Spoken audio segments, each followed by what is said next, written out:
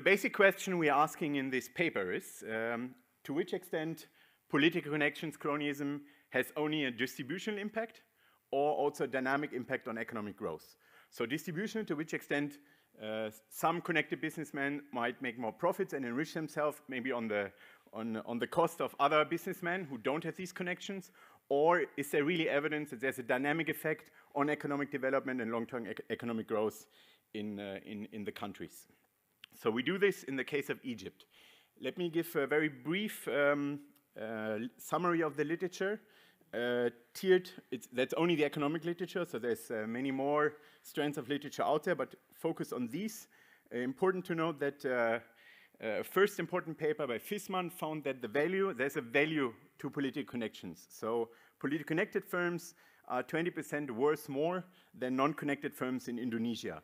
This result has been confirmed, for instance, by uh, Ishac and, and Hamouda Chekir for, for the case of Egypt, and also by, uh, by Tarek Hassan and Daron Acemoglu in a more recent paper on Egypt. So there's a, a positive value in the ballpark of 20% of, uh, of political connections. So it's worth something. There's also a strand of literature which is rapidly expanding on the mechanisms. So how do politically connected firms benefit from their connections? What are the mechanisms? How does, does it translate into this larger firm value? Uh, initially, there was a large, uh, there is a large literature on finance, on banking. Uh, so for instance, the case of Pakistan, to show that connected banks are more likely to be bailed out. And uh, more recently, uh, work by, uh, by Bob Rijkers and, and Leila and others, uh, looking at uh, regulation licenses in, in the case of Tunisia, showing that connected firms are more likely to benefit uh, from, from, from regulations than non-connected firms. And this morning we also heard some presentation from, from Adil on, on non-tariff measures, barriers to trade.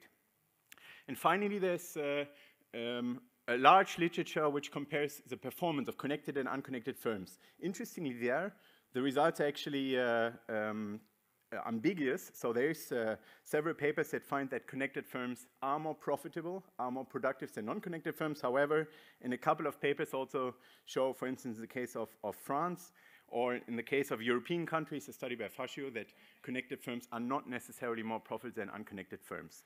Having said all that, there is to some extent a gap in the literature to which extent these connections have an impact on economic growth, have a dynamic impact on economic development.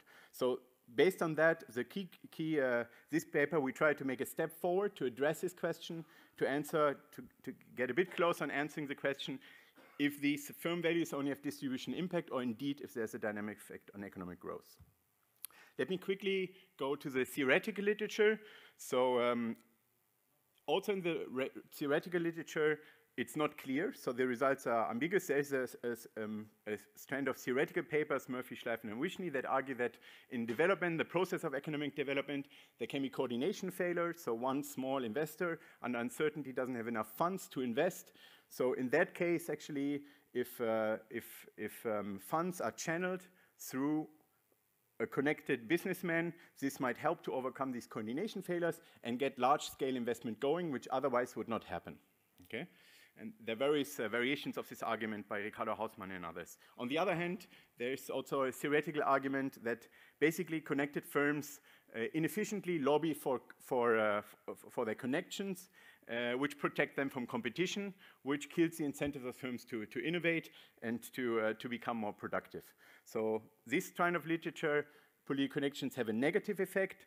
Uh, most recently, or maybe the most, most um, detailed paper on this is by Aghion and colleagues, uh, who actually show that uh, in sectors where you have uh, a few firms which last which are large, with a large exogenous cost advantage, for instance, due to political connections, and you have a lot of firms which have much higher cost. In this sector, all firms have less incentive to innovate, have less incentive to, uh, to um, invest in more productive activities. So the laggards, the very unproductive small firms, they basically cannot compete, they cannot bridge that gap to the few connected large firms, so they have no incentive to innovate. And the large firms, they don't face any serious competition within their sector, so they also have really not uh, a, lower incentive potentially to innovate. So in, in these sectors, we should uh, expect less innovation than in sectors where firms have a head-on-head -head, uh, cost and a head-on-head -head competition in order to, to innovate. Now, we argue that uh, the first case of coordination failure is more relevant for low-income countries, where there is a coordination failure and there is a potential lack of, of, of large-scale investments in certain sectors. However, that when countries transit to, to middle-income countries, uh, and some initial investment took place in the demand externalities in the new sectors emerging in manufacturing and services, there the efficiency of firms within that sector is crucial to further develop. So in these cases, the competition argument, the second argument might be most relevant. So the hypothesis we test is that connected firms in Egypt did create jobs, but they did not create enough jobs. And at the same time, they suppressed competition within their sector and discouraged the majority of firms in this sector which are not connected to invest and innovate, and by that reduced the, in the aggregate uh, the number of, of employment growth in the country. So the contribution, the main contribution is that we construct a novel database um, of firms in the Mubarak uh, area, which are connected to the Mubarak regime. I will say a little bit more about that uh, soon. Importantly, uh, we use the fact that uh, a lot of these connections um, expanded and co politically connected firms expanded in Egypt and entered many new sectors in manufacturing and service sectors in the beginning of 2000, arguably due to an exogenous shift in the regime in economic policy. So the regime uh, had to uh, uh, deliver and had to uh, improve performance of the private sector. Uh, many of the, we already discussed that many of politically connected firms got into very high level positions in the government at that time in leading policy committees or, or becoming ministers. And we also observe a lot of entry of connected firms into new activities, into previously unconnected uh, sectors in the manufacturing and, and, service sector. So this kind of uh, variation in the data we try to exploit uh, moving forward to see what happened to these sectors where connected firms entered relative to similar sectors where they didn't enter. Um, so based on that, we document uh, uh, for the first time, there was written before this conference, so uh, there's a lot of other papers in there, so it's one of the first times the impact of cronyism on growth. And we provide also an area of supporting evidence to show that the mechanism behind this is consistent with the theoretical work of Aghion and others, uh, which, we, uh, which, which I just mentioned, uh, where we show you some, some robustness checks, so to speak. So our main finding, since I have little time, so I might not get to all the findings, so let me quickly summarize in the beginning. Um, so we use this uh, quasi-experimental setting. Um, we look into uh, four-digit uh, economic sectors that experienced the entry of connected firms between 1996 and 2006 and compare their growth with uh, comparable sectors, similar sectors, that did not expand, ex, ex, uh, experience the entry of connected firms. So we see if connected firms, uh, if sectors after the entry of connected firms performed better or worse than similar sectors that remained unconnected over the same time period. So we use this quasi-experimental setting uh, in, in our analysis.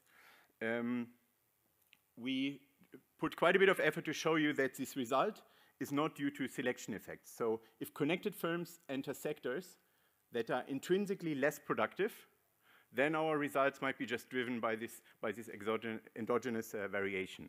However, we, we do quite a bit of effort and hope, hopefully convince you that this is not the case. That a priori, actually, connected firms in Egypt entered sectors that were more profitable, so we should have expected higher growth of these sectors. However, over a 10-year period, we find that this was not the case. And finally, we find that uh, when connected firms entered sectors, we find that the distribution of, of, uh, of employment across firms in these sectors becomes more skewed, meaning we observe after the entry that we have a few firms which are very large. However, the, the, the majority of firms in these sectors become smaller, they shrink. Either they exit or they shrink. So the, the, the, firm size distribution becomes more skewed, which is consistent with the model of, of Philippe Aghion, showing that uh, if you're not connected and in a connected sector, you have no incentive to innovate and you, you kind of specialized into small market niches in order to survive. And we find the evidence consistent with this. And we show uh, various mechanisms how um, in, in Egypt uh, the connected firms benefited from privileges that reduce competition in that sector. For instance, uh, through trade protection, for instance, through energy subsidies to industry, or from access to land or favorable regulatory in, in enforcement. And finally, we show actually that consistent, these privileges explain the larger profits of these establishments uh, in the private sector. I'll say a little bit more about that.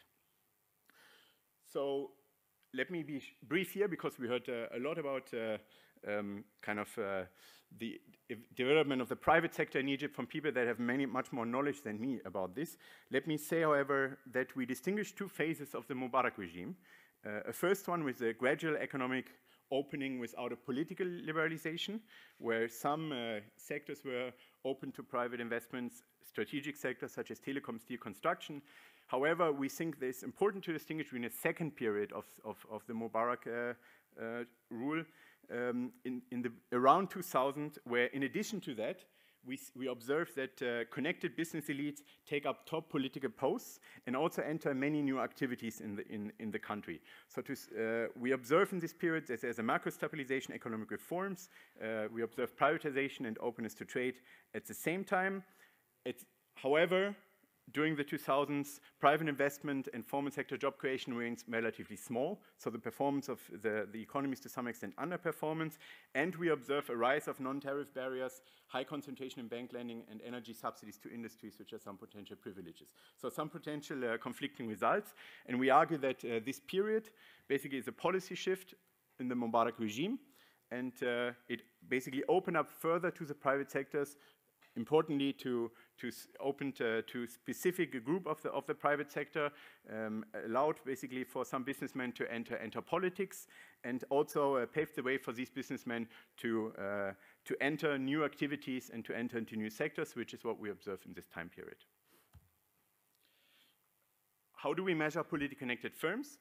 So uh, as Ishac indicated, the first take is to, the first thing we did is we created a list of politically connected firms in Egypt by uh, looking at uh, board members of think tanks, by having interviews with banks and the private sector. Importantly, in a second step then, uh, which goes back to, to Abla's question, in a second step, we actually, uh, out, of this, out of this group, we identify firms uh, we identify businessmen that had a clear conflict of interest. So we identify businessmen that at the same time had a high political position. For instance, being a minister or leading a policy committee in the National Democratic Party. For instance, Ahmed Ezz was not uh, a minister, but he led the policy committee in the National Democratic Parties uh, since 2002. And uh, so he had a direct influence on policy making in the country. So this is uh, most of our, our politically connected firms, actually firms where the owners had, a, had this clear conflict of interest. They could influence directly policymaking, and at the same time, there were business owners in, in, in the private sector. In addition to that, I should say that we add a few firms also which we consider, where we consider the owner to be longtime friends of, of, of, of Mubarak. There are a couple of cases uh, where, where we document that uh, there was a long-term relationship between this businessman and the Mubarak family, which might have uh, led to privileges, even though these, these persons, uh, a few, did not have uh, directly uh, political connected, sorry, did not have high political posts. So doing that, um, we find we have different uh, definitions of connections. We have a, the most stringent definition where um, a politically connected firm is owned by a politically connected businessman, plus a, a businessman, sorry, politician and political businessman is the CEO of the firm. We have firms where, that are just owned by connected firms but has an independent CEO. And finally, we have uh, also include, uh, in addition, firms where, where a politician, a businessman, is basically uh, a board member. Okay? In the most broad case, this leads to 385 firms here that operate in 155 out of 320 four-digit sectors. We use additional data from the Egyptian establishment census data in 1996 and 2002, which has more than 2 million establishments, so it's, it's, it's literally all establishments with a fixed location, so no street vendors. Uh, so we use that to compute employment growth at the four-digit uh, uh, sector level between these two years. And later on, we use additional information to see which, uh, to look deeper at, at, the mechanism, which type of, uh, of uh, privileges politically connected firms benefit from. So the key exercise is to, to estimate basically uh, to which extent there was an impact on growth. So after the entry of crony firms into previously unconnected sectors, how did these sectors perform relative to similar sectors that remained unconnected?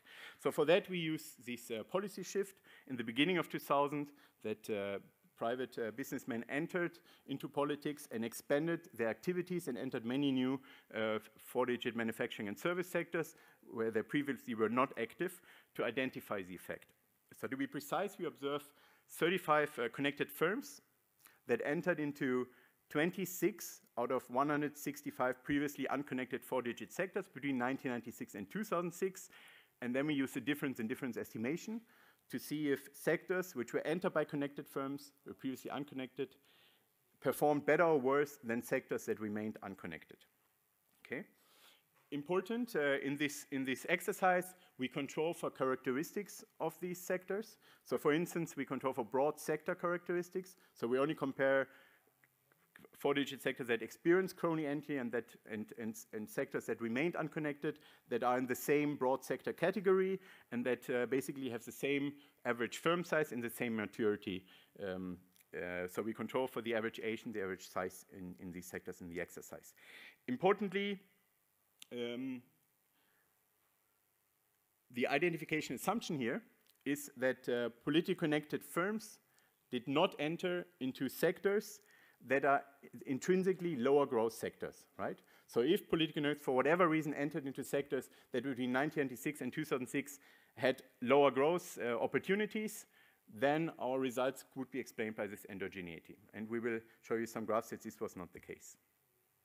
So what do we find? We find that uh, in, in, the results in bold, so let me uh, not go in detail to the, to the, to the regression table, just say uh, we find um, for all of these different measures, the most stringent one where connected firms are measured by being owned by connected businessmen and the CEO is a connected businessman being just owned or the broadest measure, we find that there's a significant effect of crony enter into sector performance. So, so for instance, in the, in the case of, uh, in the middle case, of firms that are owned by, by, by po politicians, by politically connected businessmen, we find that between 1996 and 2006, they grew 18.7 percentage point less, so employment growth was 80.7 percentage point lower after their entry than in similar sectors they did not enter. Okay, so that comes about to 2% less employment growth uh, every year. Okay, so we find a strong result that these sectors underperformed. Moreover, we find that uh, after connected firms entered into these sectors, the employment distribution in these sectors changed.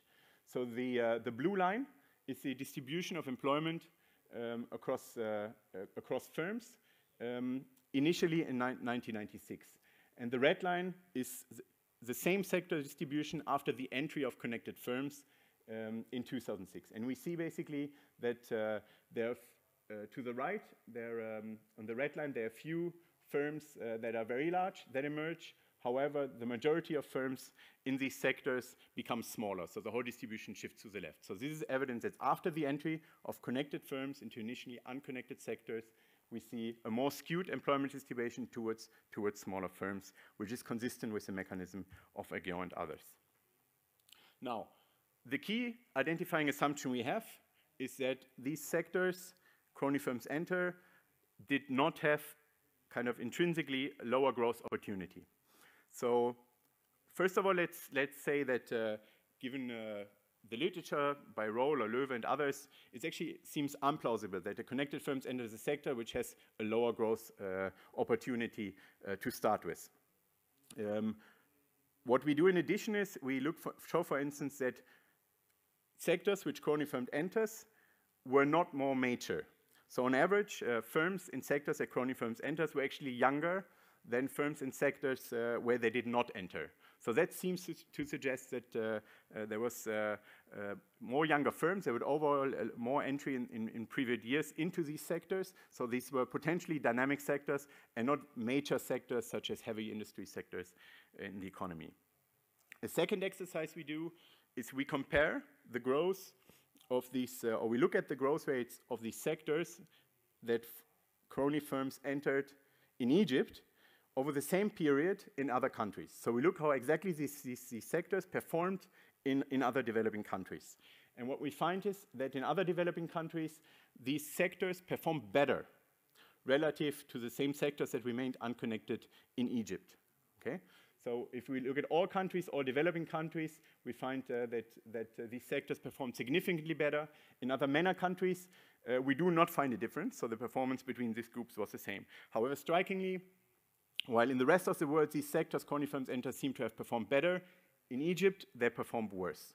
So this gives us uh, um, confidence and, and, some, some, uh, some confidence, hopefully convincingly, that the firms, the sectors that politically firms, enter have higher growth opportunities. However, after the entry uh, of politically connected firms, we see a shift in the employment distribution in these sectors and the unconnected firms in this sector actually perform worse. So overall, the, the performance in this sector is, is much worse. So let me say, uh, to, to finalize, let me give uh, some supporting evidence that on the mechanism of how this happened. So if we take a step back in the, in the model of Aghion and others, crucial is that uh, there are some privileges for few firms, for connected firms, that uh, give them a cost advantage over unconnected firms, which explain their better performance. And we find in the case of Egypt that uh, one, one example of these privileges is energy subsidies to industry. So, um, for instance, in high energy industry, high energy intensive industries, which obtained the bulk of energy subsidies to industry in Egypt, about 10 billion US dollar in 2010, 45% of the connected firms operate, but only 8% of the unconnected firms, and the difference is statistically significant. We find similar benefits in terms of trade protection. Uh, Adil talked about this uh, this morning, uh, so let me, let me skip it here. And we also find uh, that um, uh, connected firms benefited from greater access to land, um, to credit, and were more likely to operate in, in industrial zones. So these are some of the mechanisms of the privileges they obtained. So let me conclude. We find in Egypt that a small number of entrepreneurs have managed to control a rising and substantial share of the Egyptian formal private sector over time. Politically connected firms tend to operate behind trade barriers. Uh, they disproportionately benefit from energy subsidies to industries. Um, they are more likely to be in industrial loans, zones. They obtain more bank loans, and they, they benefit from fast-track regulatory enforcement in Egypt. They're not more, if, so we find that they're more profit efficient. However, they're more profit efficient only because of these privileges. So we find that, for instance, the, the energy subsidies and the trade protection exactly explains the, the higher productivity of connected firms' profitability in Egypt. And most importantly, we find that job creation declines after the entry of crony firms into initially unconnected sectors. Okay? So after the entry of crony firms into initially unconnected sectors, they obtained the privileges, they changed the market structures, and aggregate growth in this sector declined over the following 10 years by a significant amount. So that means actually that uh, the entry of connected firms into these sectors has some job creation, but in the aggregate, the job creation in this sector was significantly lower than in similar sectors that remained unconnected. So that implies indirectly that it was exactly the non-connected firms, which are the majority of firms in these sectors, that underperformed, that were discouraged to, to invest, that were discouraged to innovate, and therefore, uh, even though connected firms by itself have created jobs in Egypt, their presence, their privileges that, which suppressed competition and innovation dynamics in these sectors led to a negative aggregate performance at the sector level uh, of these sectors. So they would have grown, the sectors would have gone stronger in the absence of the entry of connected firms in Egypt. And finally, uh, we find that these effects are not only statistically significant, but also quantitatively significant. Um, so if you just look at the energy subsidies, um, the energy subsidies amounted to almost to 2.9% of GDP in 2010, energy subsidies to industry only, mostly consumed by connected businessmen. Uh, that was 50% of the overall public investment budget, which was 6% at the time in Egypt. So it's a significant amount which has been diverted to firms away from public investment. And importantly, we find uh, that uh, employment growth after the entry of connected firms was 19 to 25% lower than it otherwise would have been, which amounts to about 2% uh, of average annual employment growth in Egypt. Thank you.